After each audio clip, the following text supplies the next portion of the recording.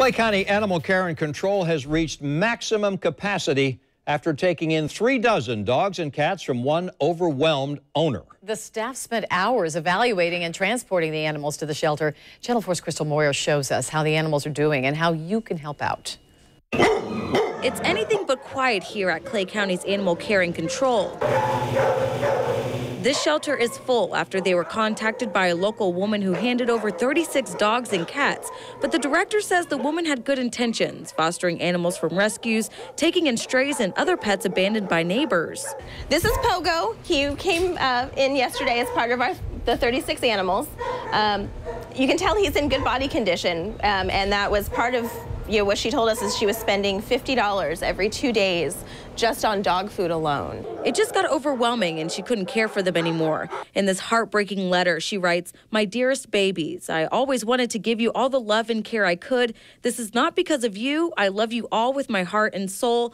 I will never be the same she was really trying to do the right thing and in her mind keep them out of animal control where she was certain that they would be euthanized. Uh, so it took educating her into what animal control does, what we are all about. Director Christina Sotheran says they have a live release rate of 96% with intentions of saving every animal. The people here at Clay County Animal Care and Control say they have no plans right now to euthanize any of the animals they took in, but they need your help. To put some things into perspective, they have 91 dogs with just 79 kennels.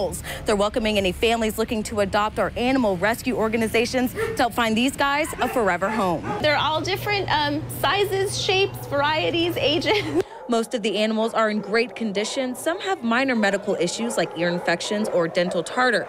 Some are even trained. You know, sit. Good boy. Come here. Speak. You speak. Good boy.